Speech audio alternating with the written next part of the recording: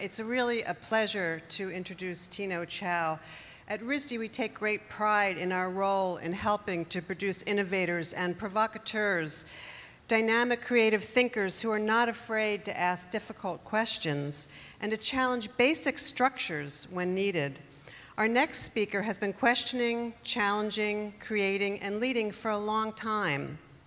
Tino graduated from RISD with a degree in industrial design in 2009 but even before his time with us, he was learning important lessons as an officer in the Singaporean military, which you'll hear more about today.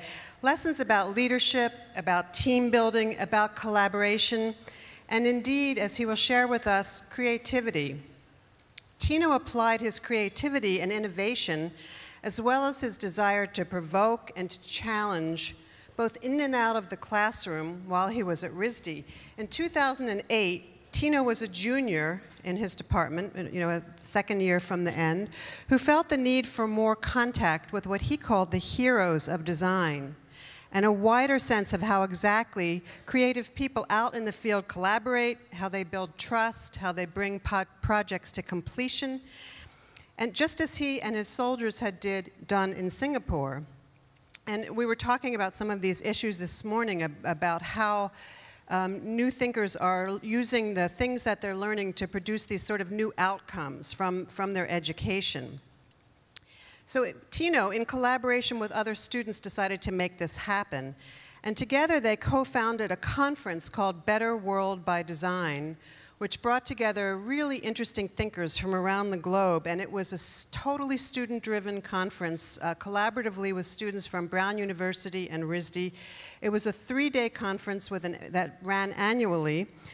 And the mission of that conference is to envision a world where design thinking is accessible to everyone in order to catalyze positive change on a local and global scale. So they had a very modest mission, right? But I will say that we just hosted this couple weekends ago, the ninth incarnation of this remarkable event, which brought over 700 designers, educators, innovators, and learners from 195 different zip codes and four countries together to think and work collaboratively and how wonderful to think that you could build something that was so sound that you don't need to run it anymore, that it's taking off on its own and continuing to grow and expand. It's really a wonderful example of leadership. Since leaving RISD, Tino has continued his work. He has become an internationally recognized designer, entrepreneur, public speaker at places like TED conferences and others, a rising star to say the least. Tino recently founded his own firm and called it Giant Shoulders and Company, and I think he'll talk about why in his talk. And in this work and elsewhere, Tino is putting his skills and talents in design, branding, leadership, and collaboration to really remarkable use, applying his conceptual expertise to all sorts of innovative projects and partnerships that you will learn more about in a minute. We are very proud of Tino's work, the legacy he is building, and excited about what he will bring to the future. So it's my great pleasure to ask everyone to please welcome Tino Chow to the stage. Thank you.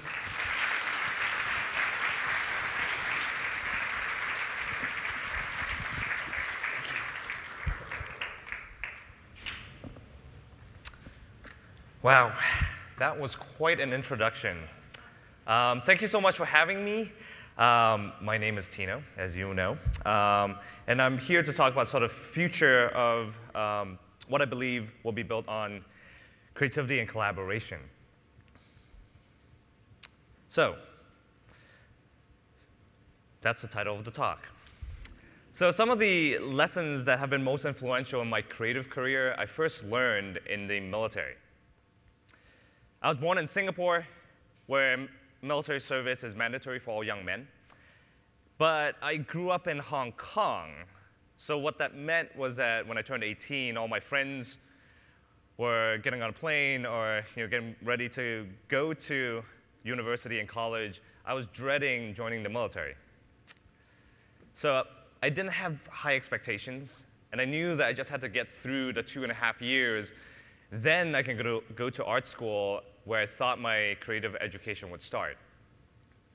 So what I didn't expect was how my military expectation, or my military experience, would shape me as a designer and influence the way that I see the future of the creative industry. In the military, I learned about collaboration. And since then, I've been learning how to relate to it as a creative. So the world is changing, as you might know. Um, while technologies and tools are increasingly equipping individuals to do more and more creative work and sidestepping creatives, um, at the same time, businesses are seeing greater value in incorporating creativity into their organizations, into culture, and their processes. So what I'm talking about is pretty simple, is that we are experience, experiencing a shift in the value of creativity and our roles as creatives. Well, this, uh, this has actually happened before, and history has a way of repeating itself. From the Industrial Revolution to the arts and craft movement to post-war technologies that free women to join the workforce to spreadsheets that completely changed the accounting world. As you can see, technology is a double-edged sword. It made complex processes faster and commoditize them to become cheaper. Artists no longer need record labels. Authors no longer need publishers. And companies and organizations are sidestepping web designers and developers to build their own websites. And 3D printing has already changed the way that we prototype ideas and is challenging us in how we look at manufacturing. These tools are shifting the value of creativity and asking us to redefine who we are as creatives. While the world is reaching out to us and trying to make a connection to how to incorporate creativity in, into what they do, as we have heard last night from Otto and the panel today, we have an obligation and a responsibility of reaching back out to them. We are living in an increasingly connected world where we have to take into account the different perspectives, cultures, and languages, and that's only touching upon the tip of the iceberg. Leaders and companies and governments are realizing that the only way to tackle this complexity is by thinking differently. And to do that, it requires creativity and collaboration. Creativity and collaboration is the approach that I've seen over and over again in resilient organizations and in leaders who seem to continue to thrive even in adversity. So make no mistake, collaboration is difficult and sometimes frustrating, and probably most of the time frustrating. But when it's done well, the multiplying effect far outweighs individual accomplishments. So I finally got to go to art school um, and went to RISD, uh, but I wasn't what you call a model student. Um, I was always interested in things outside a classroom, and I remember that there was a time when a reporter uh, was interviewing me because I so happened to wake up at 5.30 in the morning to go running with then President John Maeda. So the reporter asked me what I thought of my RISD education. And uh, without actually thinking through my answer, I said something to the effect, well, I didn't learn much in the classroom. So I could see the reporter's, well, the blood from the reporter's face draining kind of out and was just kind of giving this deadpan. And I turned to my right, and John Maeda was there grinning.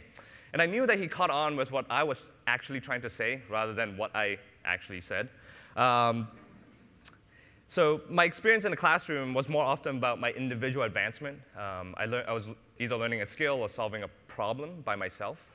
Uh, and it was outside the walls of the classroom where I got to meet other students, other faculty from different disciplines. And I got really interested in what they, how they thought about the problems and how they went about doing things. So one of these times I came across a couple of students from the engin engineering department at Brown University who are interested in social and environmental impact. And that piqued my interest because at the time, as Rosanne mentioned, I was you know, trying to figure out kind of how to relate to the world as a designer and really was um, kind of asking these questions. So, although we came from very different backgrounds, we had this in common. And we wanted to figure out how to work together to create positive change. So, in fact, there were actually hundreds of us across both Brown and RISD's campus who were asking the same question from engineers to illustrators, doctors, to graphic designers, chemists, artists, computer scientists alike. Well, we first approached the universities at the time, but neither Brown nor RISD were really ready to um, feed our curiosity. Even though there were interests, it would have taken years before formal classes could be offered. So the opportunity for us was then, and what we decided to do is simply to sidestep the system and the establishment and decided that we should take learning into our own hands. So I joined up with the students at, that met at Brown, and along with students at RISD, we started the conference Better World by Design. So through it, we were able to invite our heroes to do the great work that they're doing in the field, to share with us their experience so that we can learn from them firsthand. So although we were aligned in the overarching goal, we had to figure out how to work together. So the first thing that we did, the first thing that we did was to write a business plan. Um, and as a designer, as a creative, that wasn't my idea, but was probably the most important thing that we could have ever done. We mapped out the roles that we would play, the roles that needed to be filled, and the resources that we needed to make this happen. We knew that we could not do this alone. And with that, we went out and found bigger partners who were willing to collaborate with us to get this off the ground and get to our goal. And with that, we built a collaboration between the two schools and also with the city of Providence. So we brought together around about 300 people from around the country the first year, and for the next eight years, um, grew to around about 1,000 um, people each year. So once again, as Rosanne mentioned, is that the most amazing thing that uh, remains um, is that this is a student-run conference. Um, I have actually got nothing to do with it for the last five years, which is great because I can take credit for what someone else have done.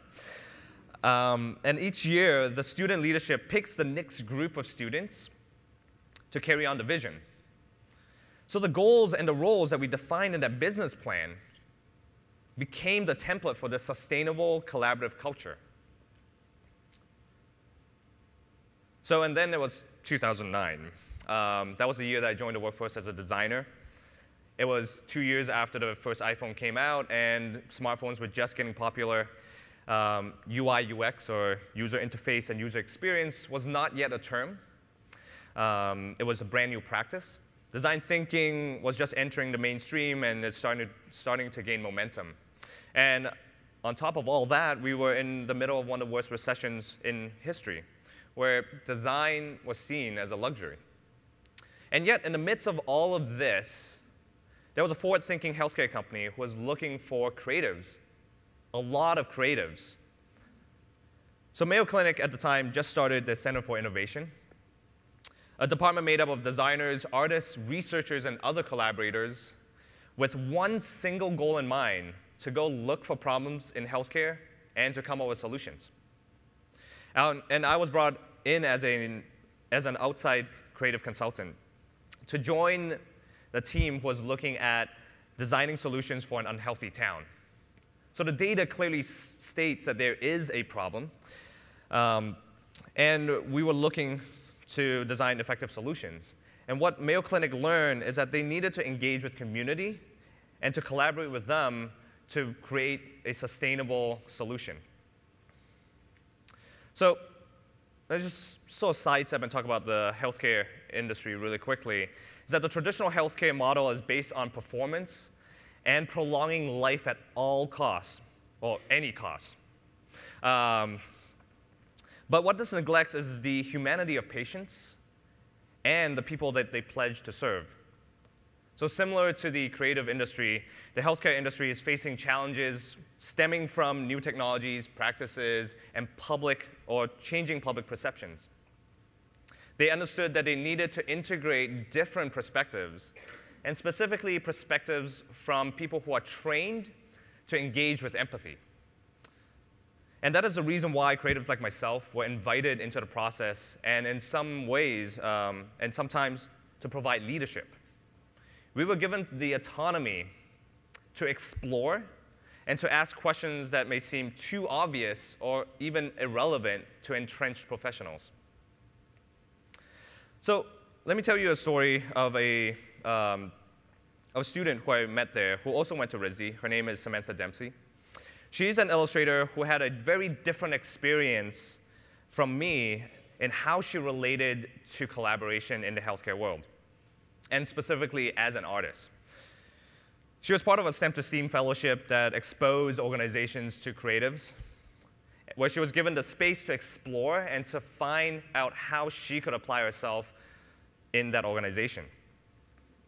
Samantha saw herself as a, sto- a visual storyteller, and towards the end of a fellowship there, she developed a documentation kit that highlighted what she had learned through the lens of an illustrator in the healthcare world. So, just imagine for a second um, that you got into an accident and you're, you're being taken to the hospital for a checkup. So at the scene, you're asked, asked what happened, and so you tell your story. And then the medical team arrived, and they ask you again what happened, so you tell that story again. And um, when you're at the hospital while you're checking in, you're asked to tell that story again. And so you repeat that story again. And then again to the nurses, and then to the doctors. So by the time you get to the doctor, you've pretty much formulated um, your story based on what you think they want to hear. So that is only human. I mean, our stories or even jokes evolve over time based on how people react to it.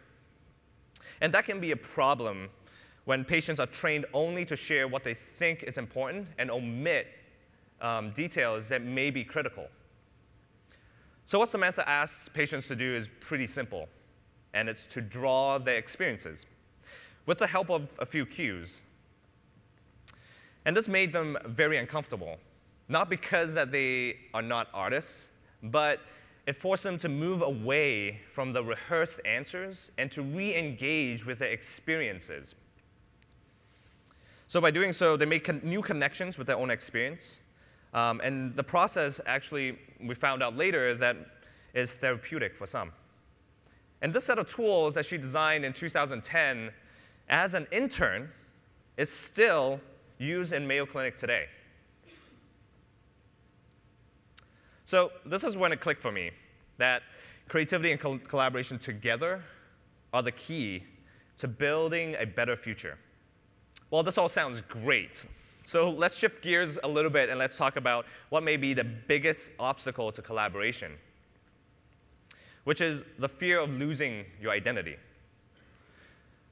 True collaboration only, what I believe is that true collaboration only strengthens individual identity.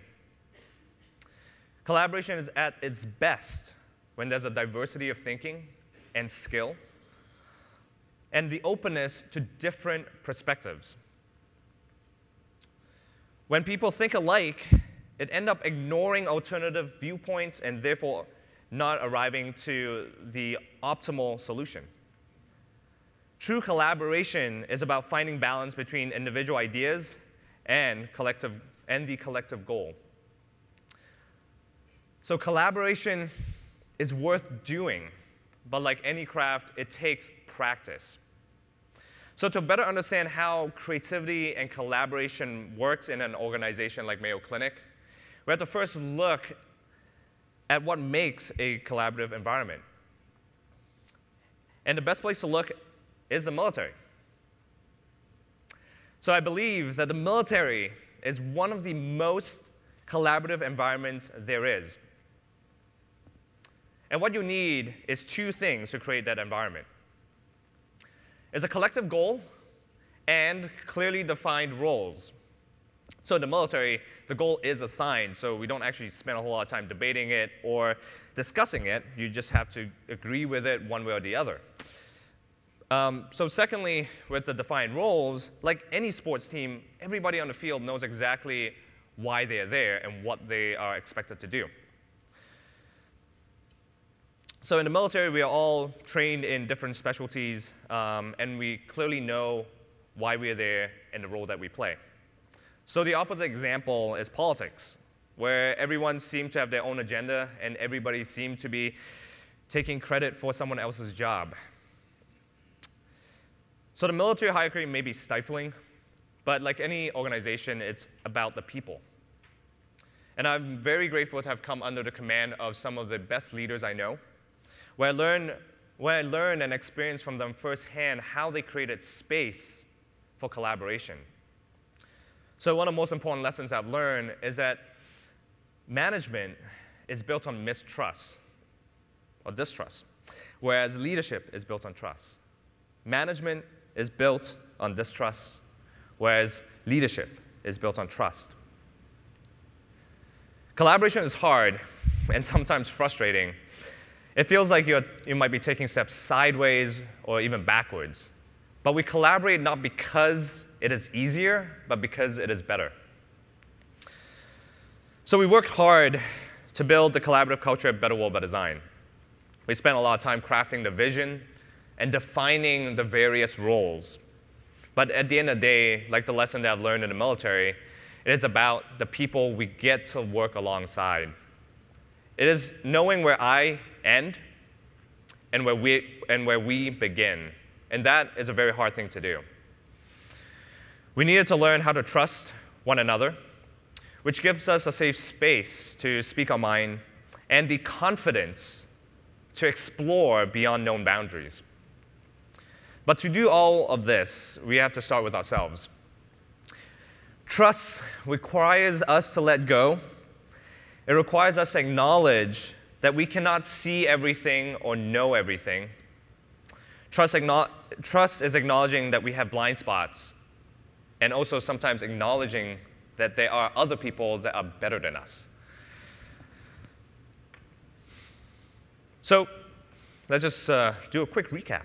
Um, so to create a collaborative environment, you need a collective goal and a clearly defined role, or clearly defined roles. To collaborate effectively, we need to build trust with your collaborators. And what trust requires us to do is to be honest with ourselves and to be vulnerable. So, a quick show of hands here. Um, who, have, who here have been to art school or been, to, been at a critique? Great, that's basically everybody, so thank you and good night.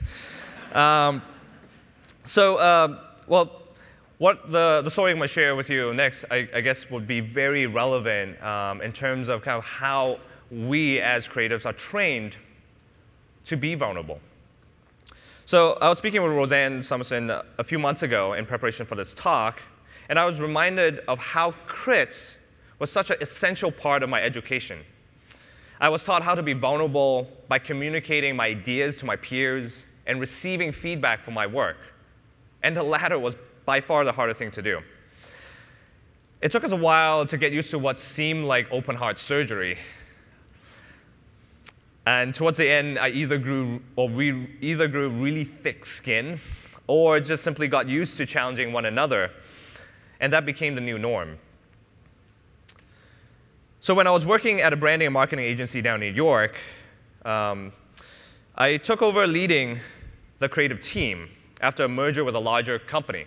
And that was a very difficult time because we were trying to realign ourselves to the new mission of the company, along with new processes and culture. So statistically, most merger and acquisitions end with high talent turnover because what often makes business sense may not often make people sense. Up until that point, the creative team didn't have a habit of working together. And on top of that, we had to learn how to work with a new team with different expectations. We needed a different mindset if we were going to collaborate successfully. So I thought I, I would uh, convert my art school experience into the workplace and throw my team into a weekly crit. So that all sounds great, but what I haven't mentioned is that the people who I'm working with are some of the most talented creatives I've known, but they are mostly self-taught. So um, what I've effectively done is throw them into the deep end and without actually teaching them to swim. So the first few crits were pretty uncomfortable. So the idea was completely foreign to them, um, and I could see fear in their eyes. The fear of getting it wrong, the fear of getting reprimanded by a superior, the fear of judgment, and the fear of not being good enough. So, over the next couple of weeks, we developed some ground rules for our weekly crit. Firstly, you leave project scope and timeline at the door. Secondly, is that this is a space where we're helping each other with our craft and what it meant to us individually to be a designer. And finally, and probably the most important, um, most important rule, is that there can be no finished work. You can only talk about work in progress. So it, took us, it still took us weeks beyond that to get used to the idea of being vulnerable we started to share what we did. We started to talk about how we did the work that we did, and most importantly, the, why we made the decisions that we made. We didn't just become a better team, we became better individuals. We got to know one another and learn about how to work with one another and trust each other. So I learned a great deal from everyone. Um, and also can learn a lot about each individual. So when I recently started my, started my new company, it was a no-brainer for me to bring them along as part of my team. So this is my new venture. Um, so my new venture is built on top of the principles I just talked about, which is creativity and collaboration. And that's kind of very much what I hold dear um, individually, and I wanted every part of the company to reflect that.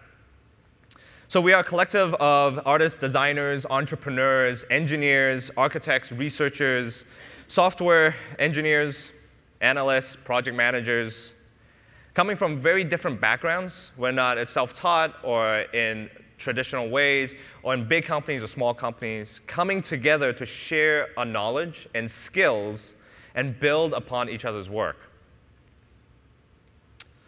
We believe that there are those who talk about building a better future.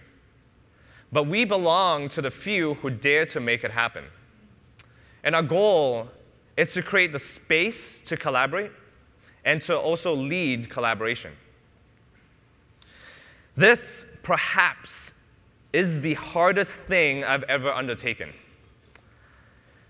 Collaboration is difficult. And building that environment from the ground up made me realize I needed to relearn some of the lessons that I've just shared with you today. But I know what to expect on the other side, and I'm very much looking forward to it. We are on this journey together, and we have the opportunity to challenge one another and to collaborate with those who don't see the world the same way we do.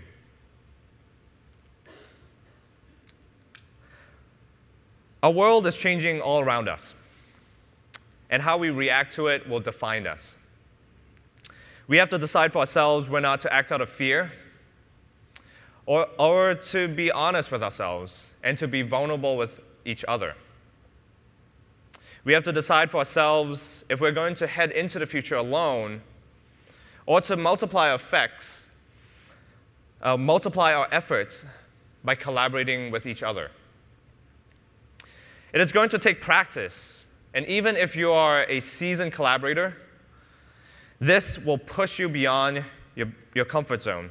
But I believe that, is a, that it is worth it. So I leave you guys with a question, and a very tangible place to start.